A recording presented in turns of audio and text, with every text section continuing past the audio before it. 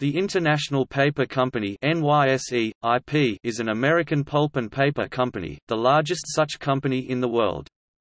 It has approximately 56,000 employees, and is headquartered in Memphis, Tennessee.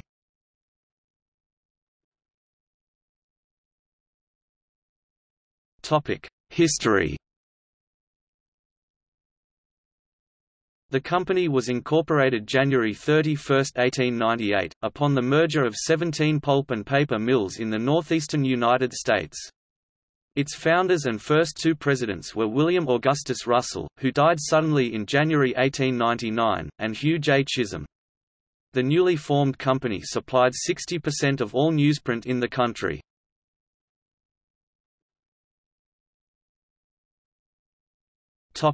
Hudson River Mill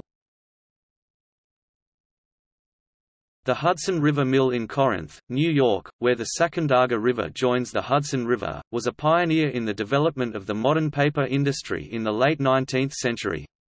The first wood-based newsprint paper mill in New York, it was built by Albrecht Pagenstecher in 1869. In the early 20th century, the Hudson River Mill was one of the company's largest plants and served both as its principal office, and a place where paper workers helped shape the direction of the industry's early labor movement.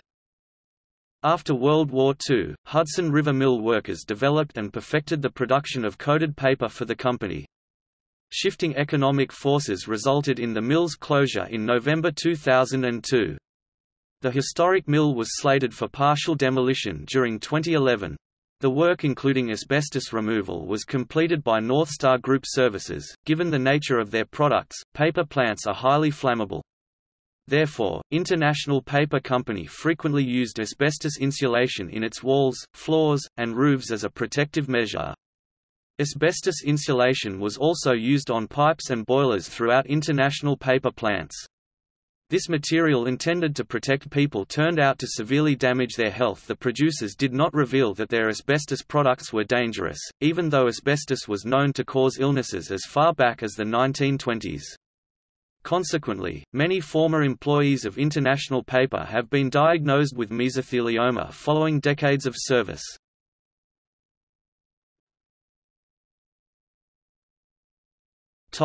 Mill workers' strike In 1987, the company's paper mill workers went on strike at a number of its U.S. plants.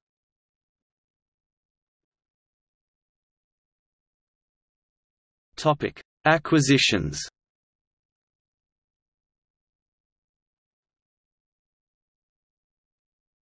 Topic: 1986 to 2000. In 1986, the company acquired the Hammermill Paper Company, founded in 1898, which managed 11 papermills nationwide, and had its corporate offices based in Erie, Pennsylvania. In 1988, the Masonite Corporation, and in 1989, the German paper company Zanders Feinpapier AG and the French paper manufacturer Aussedat Rey. In 1996, it purchased Federal Paper Board. In 1999, the company purchased Union Camp Corporation, and in June of 2000 Champion International. Additionally, it owns shares in the Chilean company Copec.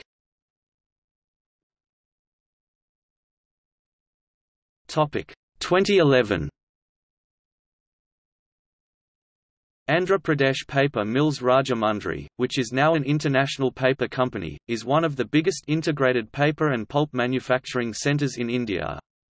The company produces writing, printing, and copier papers and paper boards for foreign and domestic markets. APPM's production facilities are two mills in Rajahmundry and Kadiyam with a total production capacity of 240,000 TPD tons per day. The company is becoming a driving force in sustainability in the paper manufacturing arena through focused social and community programs, including pioneering work in raw material generation through social farm forestry. International Paper owns a majority interest in APPM, and the remaining shares are publicly traded on the Bombay and National Stock Exchange of India APPAPER.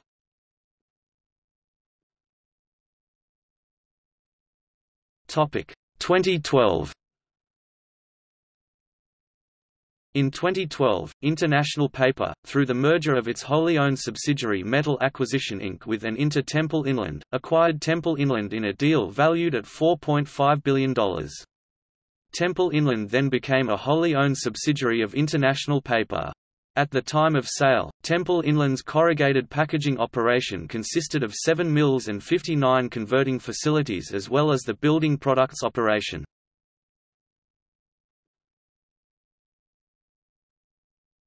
Topic: Restructuring 2005-2006.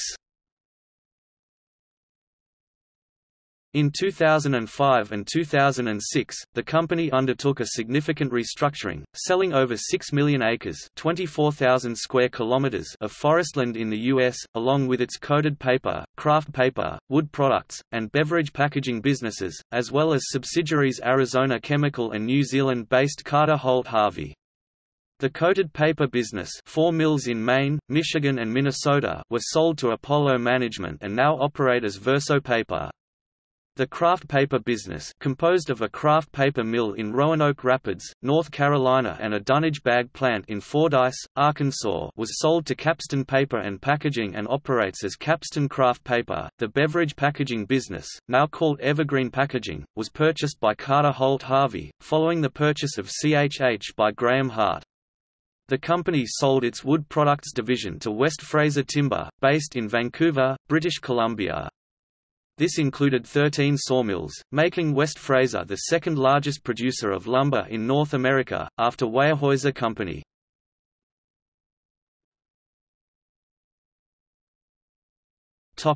Challenges of an electronic world Under pressure from budget sequestration in 2013, the federal government of the United States IP's largest customer has moved from physical checks to cheaper electronic transactions.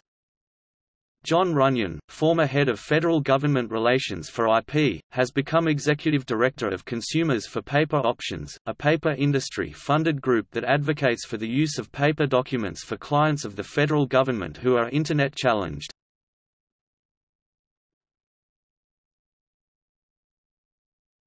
Topic: Company logo. The company's logo was designed by American graphic designers Lester Beall and Richard Rogers in 1960. The logo features the letters I and P, which form a stylized arrow also resembling a tree surrounded by a circle.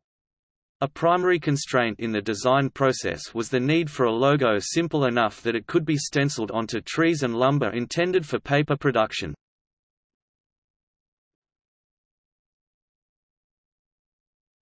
Topic: Headquarters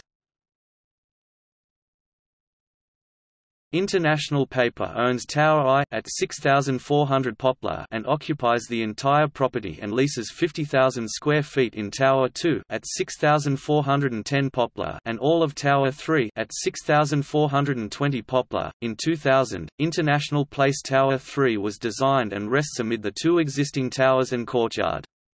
The Crump firm designed the 11-story, 234,000-square-foot tower to include offices, conference rooms, training rooms and dining facilities. The exterior granite was bought and warehoused in the mid-1980s with the intent that its construction would mimic that of the earlier towers. However, inclusion of seismic criteria to the Memphis Building Code in 1994 made the initial design unable to move forward.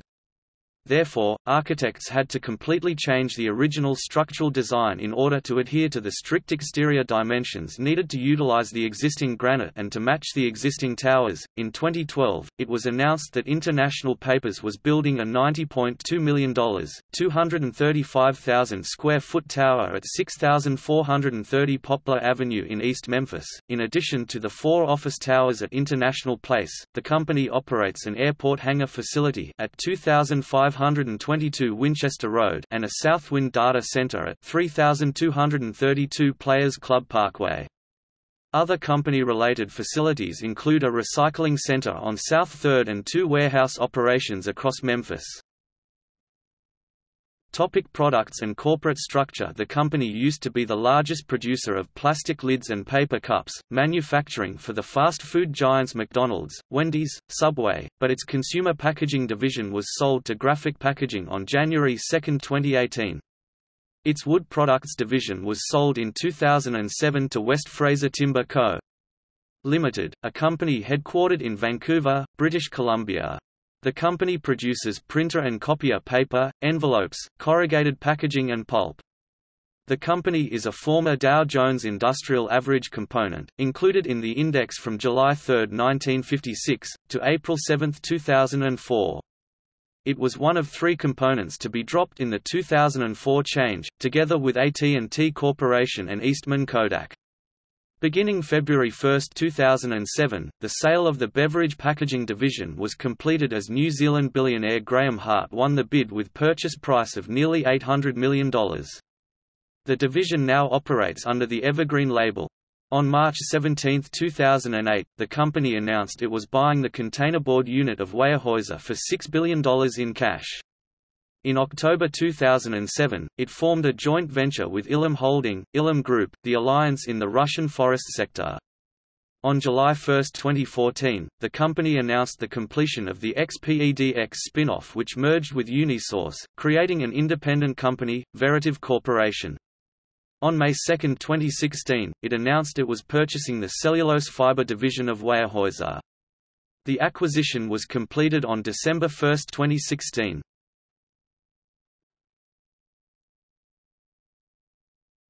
Topic. See also. Companies listed on the New York Stock Exchange I. Historical components of the Dow Jones Industrial Average. List of New York companies